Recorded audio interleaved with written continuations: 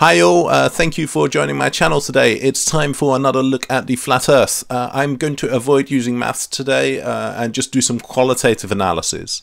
Uh, over the past few years, flat earthers have been trying to launch balloons up into the sky to see if they can detect curvature. To get a really good image of the curvature, you need to go quite high. Now there's plenty of footage from near space or from outer space where you can see the curvature of Earth, uh, but flat earthers will invoke lens aberrations to explain the curvature in these images.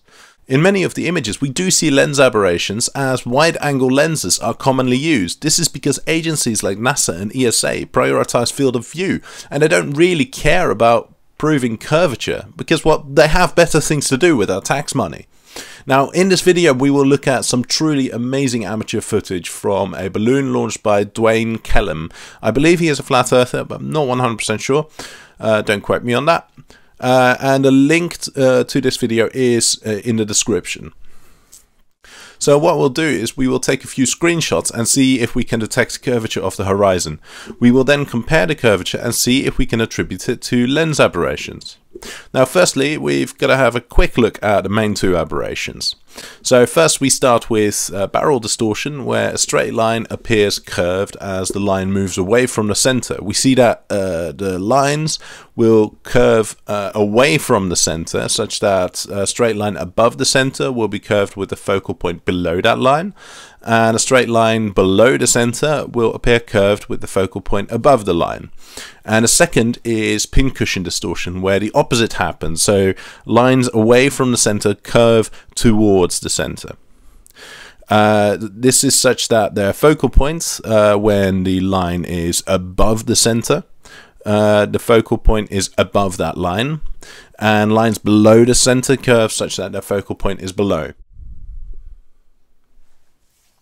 Now in this slide I just have some diagrams to demonstrate this. Um, let's say there is a flat horizon and uh, this diagram shows how it will be affected by either barrel distortion or pincushion distortion uh, depending on whether the horizon is above the center of the image or below the center of the image. We will now move on to some stills from Dwayne's video. Uh, I've drawn a green crosshair on the video to show where the center of the image is.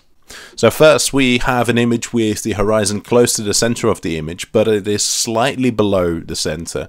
Now I've drawn a straight line from one point to the other on uh, the horizon, and we can clearly see curvature.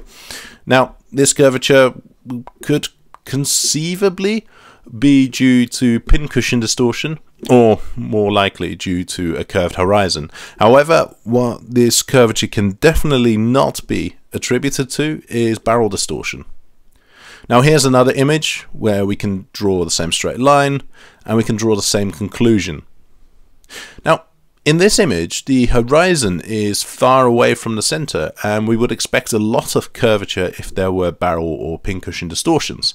Uh, but we see roughly the same amount of curvature but I want to stay away from a quantitative approach so I will ignore the similarities in the amount of curvature and I will say that this curvature could then still be due to pincushion distortion or curvature in the Earth's surface, but definitely it cannot be attributed to barrel distortion. Now here we have another image with the horizon well above the center and we still see curvature.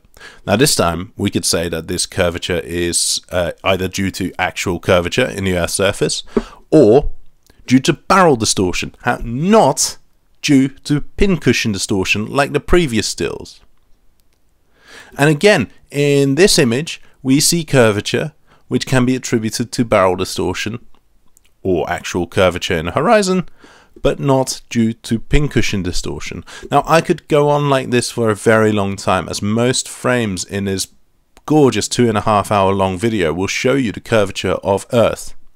The main point is that we can clearly see curvature in this video we can also conclude that the curvature cannot be attributed to either barrel or pincushion distortion because they're not consistent.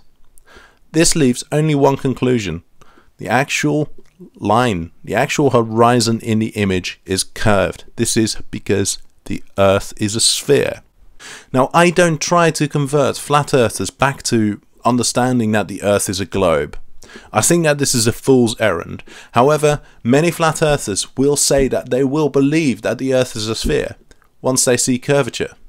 Well, here it is.